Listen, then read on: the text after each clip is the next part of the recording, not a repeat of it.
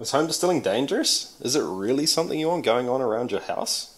Don't people go blind or poison themselves drinking moonshine?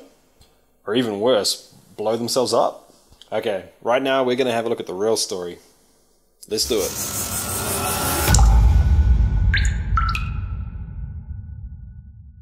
Hey guys, I'm Jesse. Welcome to Still It. This is the channel all about chasing the craft and making it legitimate. I'm going to be putting out a video every week, so if you're new to the craft and you want to get into it, think about subscribing. You can learn along with me. If you already know your stuff, you could probably help the rest of us out. And don't worry, I've got some really cool content just for you as well. Okay, so first up, moonshine is basically a term that describes any illegal distillate, we don't do that around here, so we don't have to worry about that. If you want to learn more about moonshine, I'm going to be covering that soon in another video. Regardless, I think we can all agree that getting poisoned or going blind is kind of serious, um, you know, as well as that death thing. To avoid those outcomes, you should probably learn, respect, and follow these six basic safety guides. Number one, using the proper materials. Remember that getting poisoned thing we talked about? Generally, that's due to shady people building shady stills out of shady materials and doing shady things. Don't be shady. But seriously, there's really only six things you want in contact with your high ABV alcohol or vapor copper, stainless steel, PTFE, lead free solder, glass, wood. But what about. Nope. What if. Uh, no. It's not worth it, guys. Safety first. Using reclaimed materials is cool. In fact, in principle and in wallet, it's kind of a good idea. Just be sure you got a decent idea what those things were used for. Number two, alcohol's a poison, and it burns. I know we get a little bit desensitized to the stuff, but really, drinking too much of the stuff will kill you, and it will burn. I'm talking about combustion, you know, not the funny sensation on your throat. Chances are you're going to be storing some pretty high ABV stuff, so make sure you label it properly and keep it secure. And obviously, if you have kids or pets around, yeah, I know you know. Got it. To make things even worse, the stuff burns with an invisible flame, so it's probably worth keeping that in mind while you're actually distilling, especially if you're using a naked flame. You know what, honestly, you may want to think about using an electric build instead. Number three, pay attention while you're distilling. Leaving boiling liquid, alcohol vapor, and high ABV alcohol alone with a heat source is a bad idea. So make sure you're there and actually paying attention anytime your still's running. And yes, sorry, that means no drinking while you're distilling. Have a drink when you've earned it. Number four, respect vapor and pressure. Remember that whole blowing yourself up thing?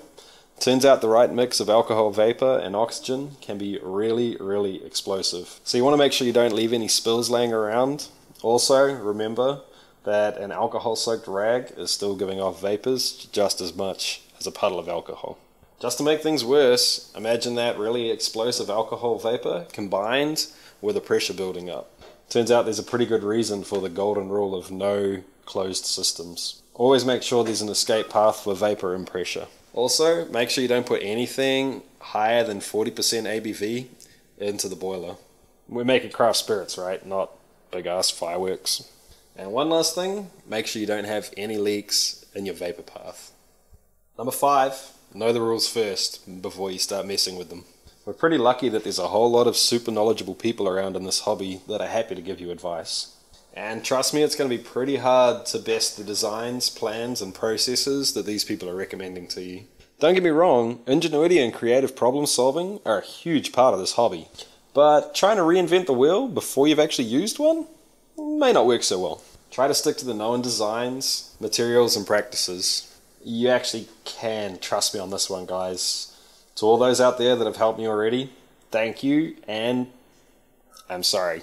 And finally, that whole going blind thing. We can probably thank Moonshine Myths and Legends for this persistent question.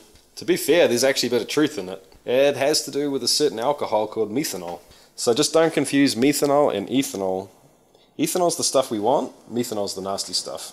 And geek points to anyone who can tell me which is the 2 carbon alcohol first. Methanol can actually cause some pretty nasty side effects in the human body, including blindness and death. Luckily, it's actually pretty easy to protect ourselves against it. Due to its volatility, it's the first chemical that comes off the still on any given run.